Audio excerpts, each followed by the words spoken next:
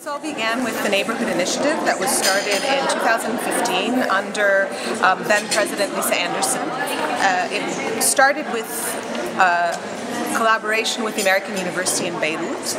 Uh, we launched a symposium and seminar where we discussed the structure of the Neighborhood Initiative and its mission to reach out to our neighbors to create a just, livable, and diverse neighborhood for our campus, which is inspired by the AUB model.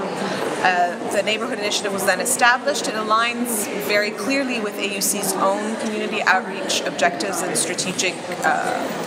priorities to make sure that we collaborate and reach out to our neighbors. Uh, in February of this year, we had a roundtable discussion that was hosted by our current president, uh, Francis Ricciardone. And uh, at that meeting, um, one of the neighbors that was invited was the Tamir Development Company, and their representatives, after that discussion, reached out to us to establish a competition to try and implement some of the objectives of the Neighborhood Which include beautifying and making our neighborhoods safer uh, and more accessible. And this became the Water Tower project that we're judging today.